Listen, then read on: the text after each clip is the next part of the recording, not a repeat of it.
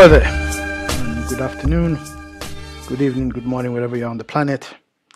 This is um, Olusegun of uh, Nosa Capital once more, and bringing you a very quick and very short video.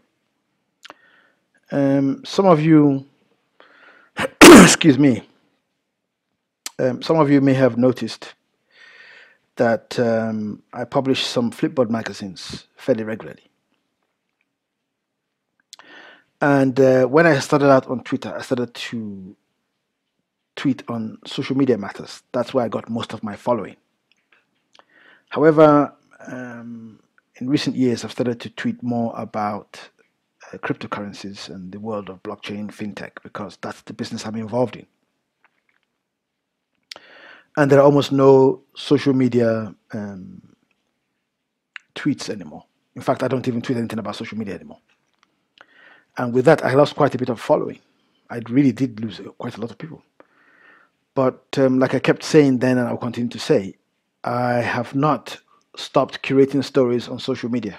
Hence, the Flipboard magazine, Social Mediology, which you can see here. I used to call it, um, I did actually title it um, All Things Social Media initially, but somebody else, about two or three people had the same name, so I changed it to Social Mediology. Now, I use the same principles in curating uh, stories on fintech, blockchain, and cryptocurrencies. Hence, the magazine Blockchainology. That also was called All Things Blockchain. I think it's what I called it initially, and um, several people also had that um, title, so I changed it to Blockchainology. Now, the main reason that I'm tweeting, um, I beg your pardon, I'm talking about this, not tweeting, I beg your pardon, is that every two weeks I come up with a blog called Crypto Stories You May Have Missed. And as you can see, this is number 44. This is the 44th edition. And what that is, is that I continue to create um, blockchain, fintech, cryptocurrency, crypto asset stories very regularly, almost every day. And um, every two weeks or so, I sort of put out a blog and say, hey, check out these stories.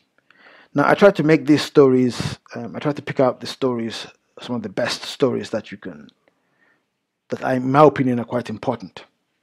For instance, um, if you look at the my latest one, which I you know published yesterday, you see I talk about the report, what Ethereum transactions flipping means, and more than a thousand currencies, cryptocurrencies have failed here's what will affect success in, in you know in future. You know things like that or things like Victor Buterin five of the biggest challenges for cryptocurrency today.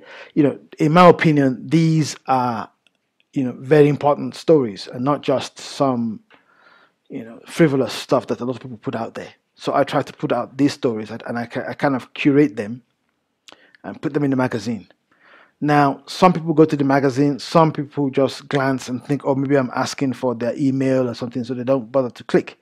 This is what a friend of mine actually said, and I said, okay, why didn't you just click the, the button saying, you know, which says read magazine? So we're going to do that now. And if you click that button, this is what you get. You start seeing the stories that have been curated.